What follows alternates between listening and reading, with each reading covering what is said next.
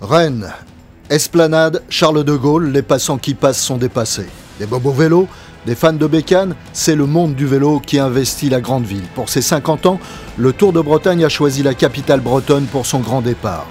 Fille d'anniversaire, les coureurs remettent le couvert comme l'an passé. Drapeau baissé, on attaque 153 km jusqu'à Merdrignac. C'est une étape courte favorable aux costauds. Ils sont 18, pas moins, dans la première échappée. Question au sprinter averti, faut-il alors assurer la course devant ou patienter?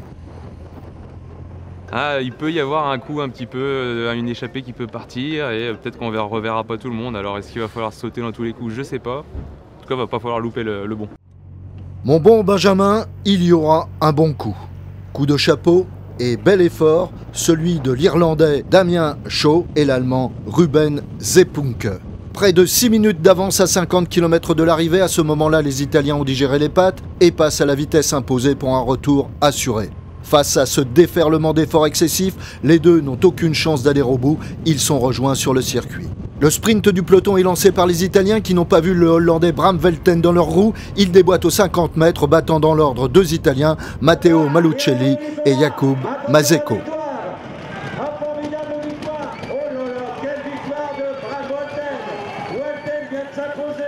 devant l'Italien